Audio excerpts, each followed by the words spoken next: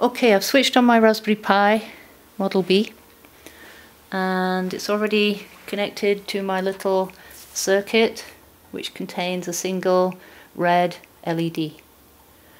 What I'm going to do now is uh, run a Python script written in Python 2 that's going to turn the LED on and off. So I'm going to show you the Python script. I'm going to open the Python idle editor so I can run the code and then I'll show you what it looks like when it's actually running on the circuit board. Uh, at the end of the video I'll just show you a website where you can get more information about Raspberry Pi and Python and other computer science topics. So I'm now going to open up the LX terminal and once that's opened you'll see this.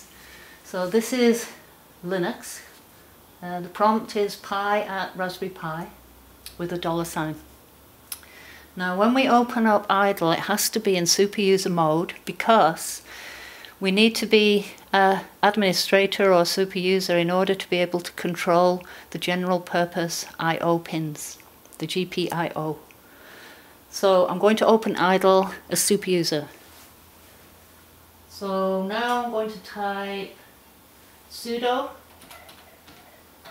idle. Okay, so it's now take a few seconds, it's going to load the idle environment and here it is. Top left hand corner you can see Python 2.7.3 and I'm now going to open up my script that I prepared earlier and I'll give you um, information on how to get access to that file at the end of this video. So I'm going to access my file now. I select File, top left hand corner, and then mine's, I'll go, I'll go to the recent file because I used this one earlier, and it's ledblinking.py. So this is my file. Uh, this is written in Python 2, and when it runs, it's going to ask me for the number of times I want the LED to blink, and also the length of each blink in seconds. Then it's going to turn the LED on and off as I requested. And when it's finished, it will say done. So what I'm going to do is run the code and try and uh, move the camera down so you can see it actually running uh, and controlling the LED.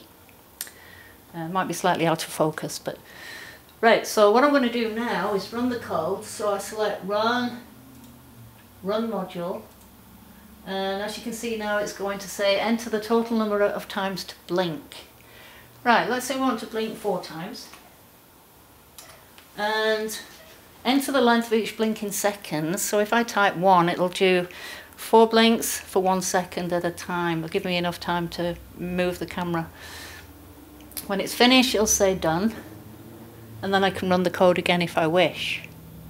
So what I'm going to do is uh, quickly get behind the camera, after starting the code. So I'm going to type 1. When I press enter, I'm going to see if I can uh, move my camera down quickly. So 1, I'm pressing enter, and it's already started blinking, but there you go.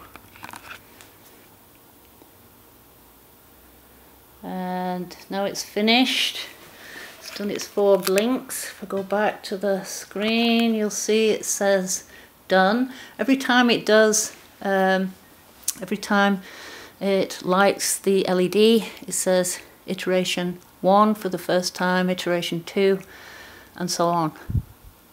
So there you can see the output from the Python code, and you saw the uh, Python code controlling the LED. So this time what I'm going to do, I'm going to point the camera at the LED and tell you what I'm doing on the big screen. So I'm now looking at the LED. Right, let's... I'm now going to run the program again. So I'm going to close the Python shell. And now I'm looking at my code, LED ledblinking.py. I select the Run menu and then select Run Module. Now right now it's going to come up with, and it is now asking me enter the number of times to blink. So this time let's have four times and let's have one second for the length of each blink.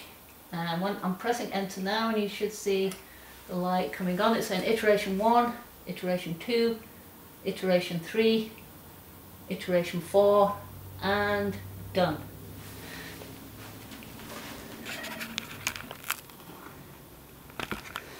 So you now need to get access to the code.